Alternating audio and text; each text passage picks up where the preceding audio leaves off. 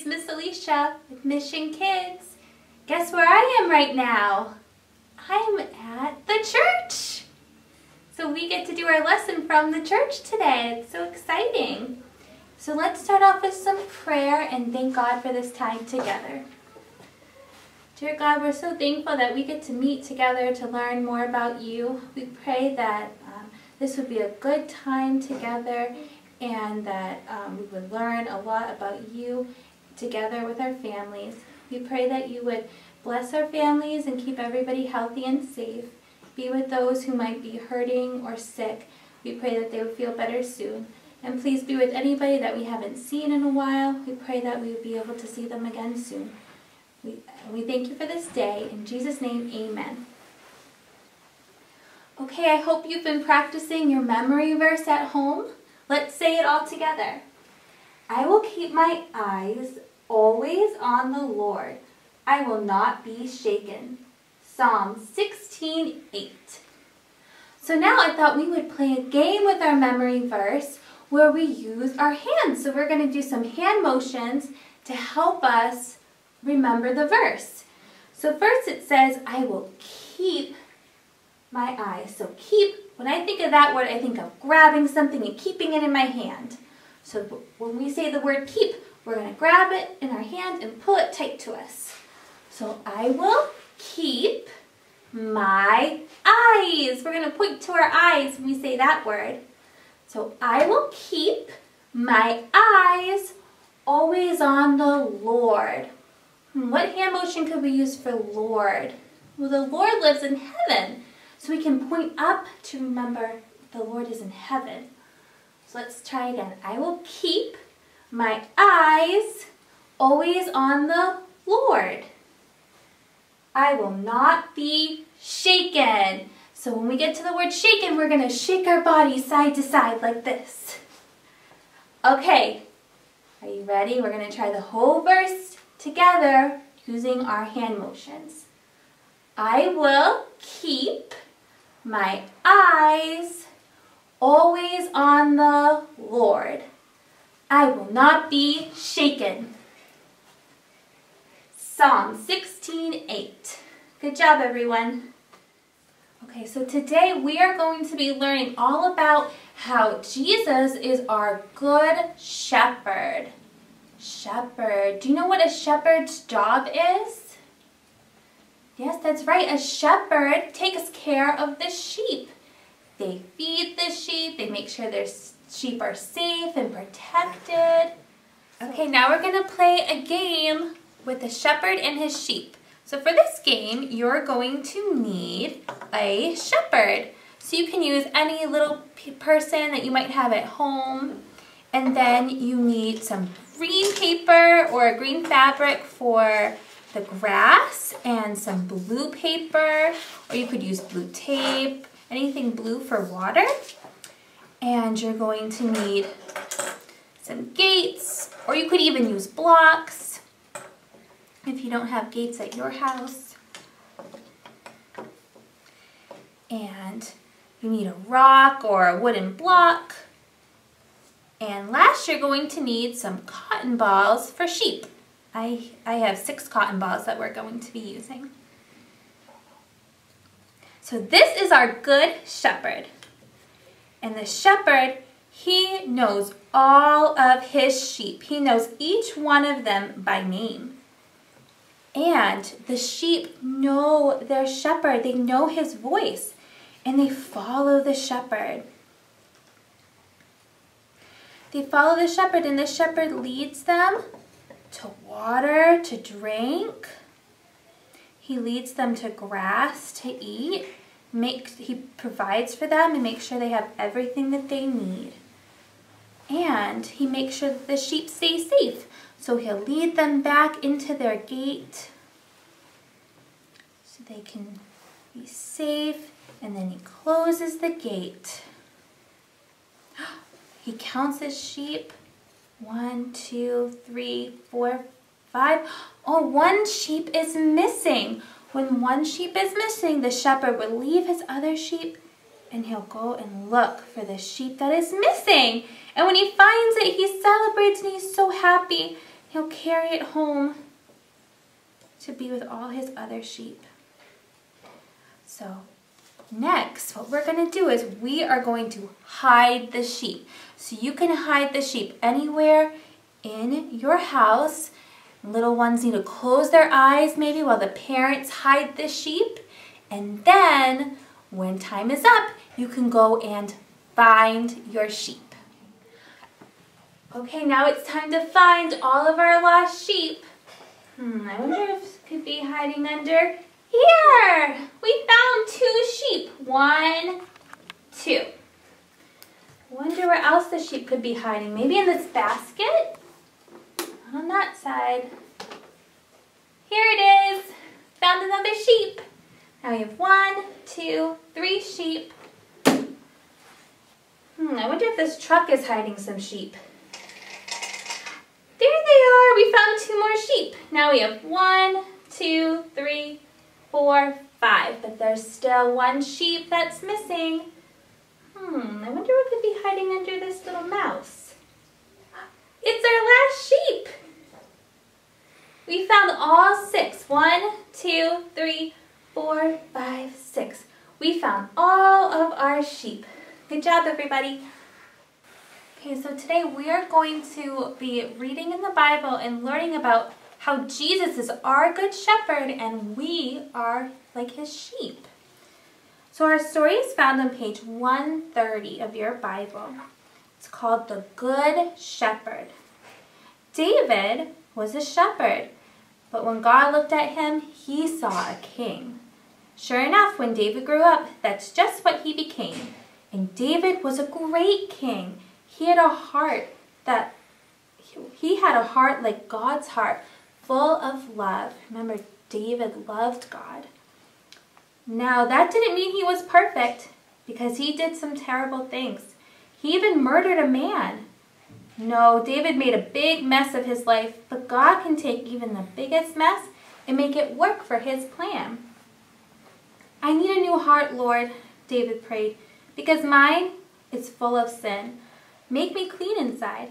God heard David's prayer. He forgave David and gave and he made David a promise. I will make you great, David, and one day a king will be born into your family, and he will heal the whole world. And that king they're talking about, remember that king is Jesus. Jesus is going to come from David's family. Did you know that David was a songwriter too? In fact, his songs were so good, they, they might have been in the top 40 charts if they had been invented then. David's songs are like prayers. They are called psalms, and this one is called the Song of the Shepherd. It's probably number one on the psalm chart, and it goes like this.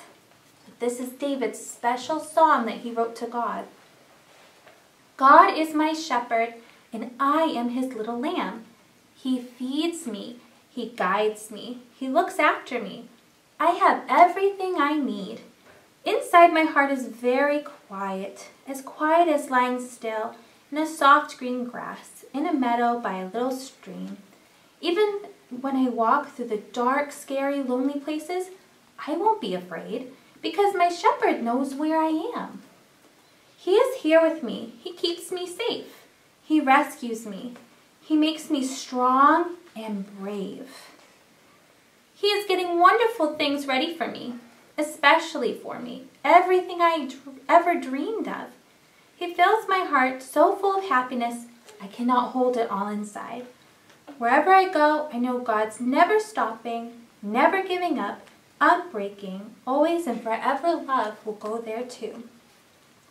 God gave David that song to sing to his people so they could know that he loved them and he would always look after them like a shepherd loves his sheep. And one day God was going to do something that would inspire thousands upon thousands of new songs. God was going to show his people once and for all just how much he loved them. another shepherd was coming, a greater shepherd. A greater shepherd than David? He would be called the Good Shepherd, and this shepherd was going to lead all of God's lambs back to the place where they always belonged, close to God's heart. Do you know who that Good Shepherd was? That's right, they're talking about Jesus, and we're going to be talking more about why Jesus is that Good Shepherd. Now we're going to do an activity that talks about how Jesus is our Good Shepherd.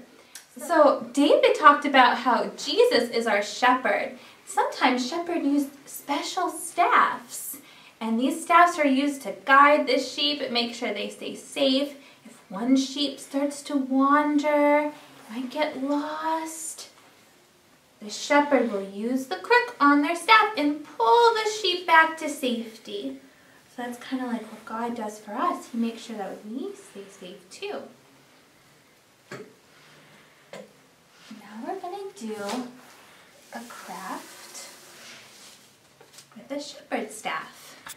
So for this craft, what you need is just some brown paper. You might need two sheets of brown paper, a glue stick, some scissors, and you're going to need this worksheet with pictures on it.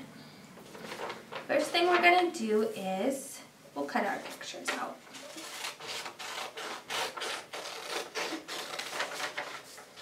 And you can have um, your mom or your dad help you with the cutting if you need help, or you can try it all by yourself. I like to cut out all the picture parts first so it looks like this. And then I cut, I cut the lines.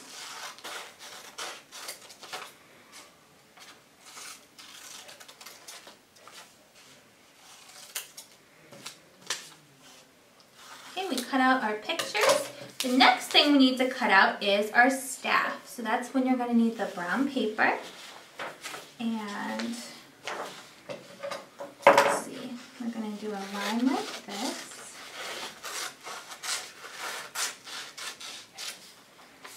And that's the bottom of our staff.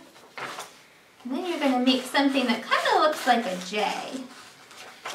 Curves like a hook.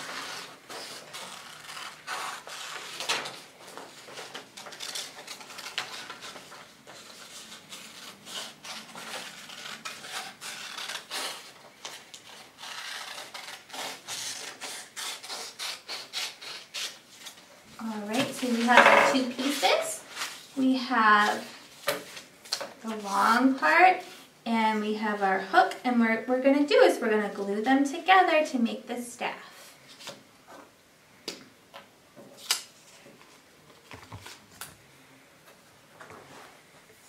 Okay, now we have our staff.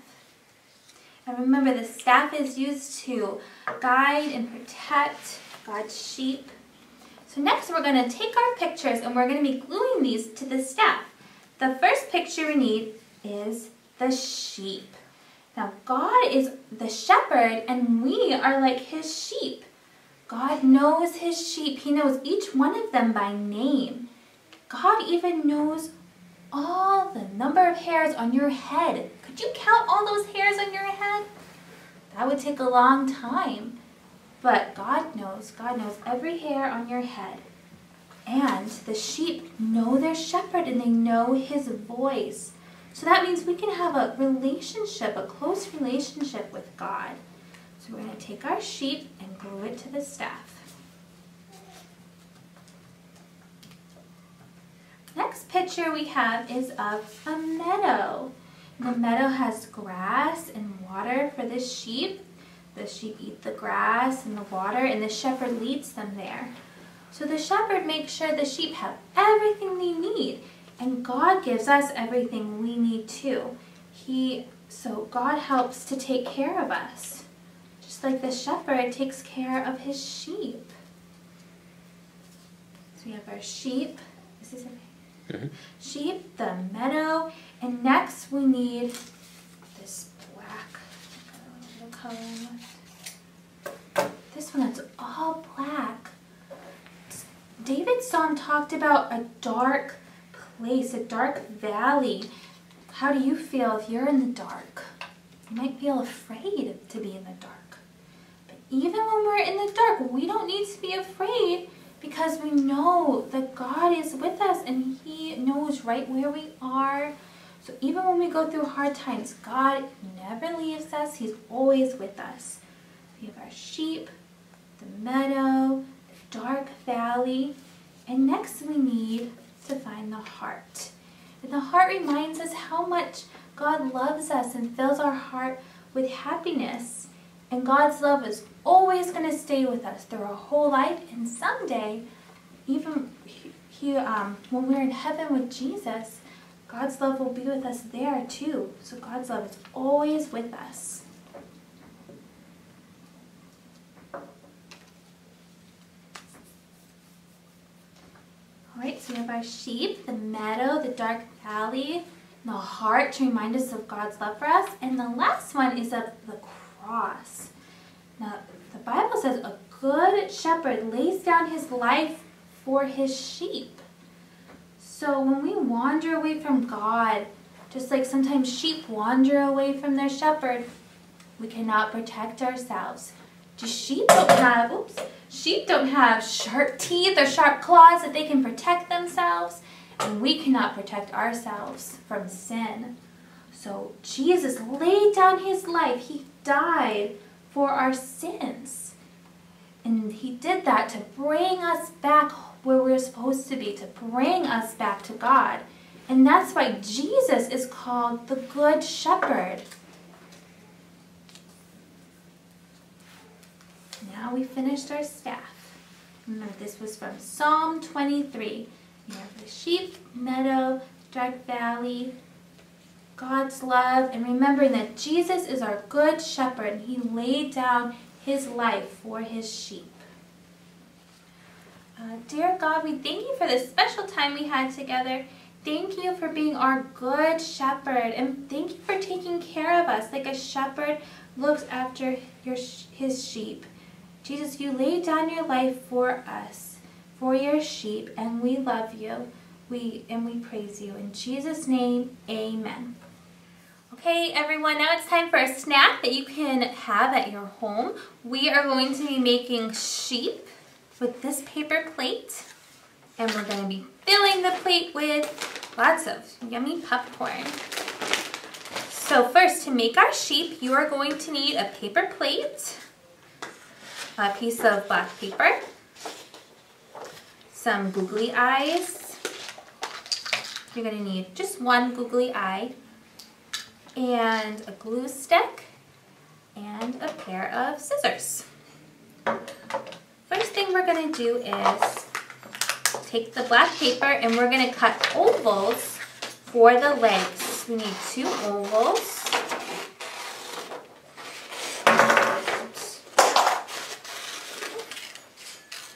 Okay, we have one leg.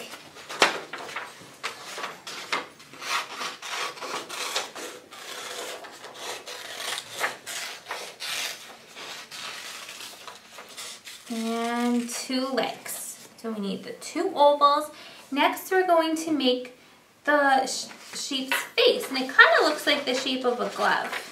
So you're to need a little spot for the ear, kind of looks like where your thumb would go in a glove. And then an oval shape for the head.